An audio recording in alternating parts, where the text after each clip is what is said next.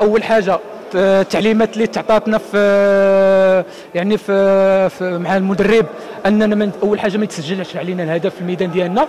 آه، يعني عرفنا أن أي وقت غادي تسجل الهدف هذا الشيء اللي خلانا نبقاو مركزين.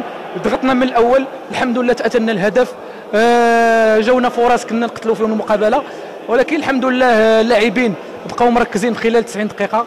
المقابله آه، جرات حتى الضربات الترجيحية.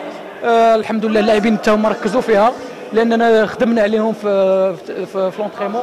الحمد لله ربي ما خيبناش. هذا ثمره مجهود ديال ديال سنة كاملة. نتمنى إن شاء الله أننا نزيدوا نتوفقوا إن شاء الله في باقي الدورات إن شاء الله بحول المقابله المقابلة أكيد. حنا متوقعنا انه تكون صعبة لأنه نلعب مع فريق اللي هو آه، يمتلك مجموعة قوية من الناحيه التقنية ومن الناحيه التكتيكية مجموعة من اللاعبين الدوليين.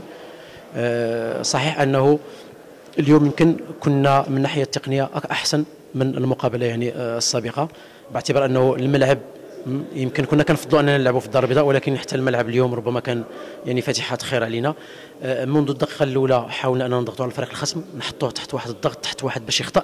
وصلنا يعني كم مرة للمرمى ديال الفريق الخصم. مع الأسف ما قدرنا نسجلوا إلا هدف واحد ولكن الأهم كان هو أنه الشباك ديالنا ما تلقاتش يعني الارتداد من الحالة الهجومية للحالة الدفاعية كان جدا يعني آه، مميز خاصة يعني اللاعب في النقاش اللي كان عنده واحد الدور كبير باش الشباك ديالنا ما تلقاش. والدفاع يعني آه، كله حتى اللاعبين. تنظن أنه الضربات الترجيحية آه، لعبناها بشكل جيد. كان واحد يعني واحد آه، الاسترخاء بالنسبة للاعبين وكان في نفس الوقت واحد التركيز. تنظن أنه اليوم آه، بالمسانده للجماهير ديالنا الإخوان الصحفيين اللي ساندوا الفريق يعني المكتب المسير قام بواحد المجهود اللي هو كبير والمغاربة تقريبا الجماهير كلها اللي كانت حاضرة سواء من الدار البيضاء أو الرباط أو المدن الأخرى. تنظن أنه هنيئا للجميع وهنيئا حتى الفريق الفتح اللي وصل هو النصف النهائي. وسم الرحيم المقابله ديال اليوم. كنا عارفين انها ما غتكونش بالسهل بحكم أننا لعبنا المقابلة ديال الذهاب. خسرنا بواحد ال zéro ولكن المقابلة كانت تكتيكيه من عند الإطار السي حسين عموتة. ما بغيناش نتلقاو نفس الهزيمة اللي خديناها contre فريق الزمالك. الحمد لله نتيجه ديال واحد ال zéro. كنا عارفين ان غنرجعوا في مقابلة في المغرب. آه كان عندنا هذه السيمانة واحد شوية ديال الضغط واحد la pression اللي ما نقدرش أنني نقول لك اللاعبين كيفاش كانوا. ولكن الحمد لله عرفنا كيفاش نتجاوزوا هذه المرحلة هذه بحكم الجماهير ديالنا اللي جات عاونتنا ودفعتنا في هذه المقابلة. الحمد لله اعطينا الفريق الوداد واحد المقعد.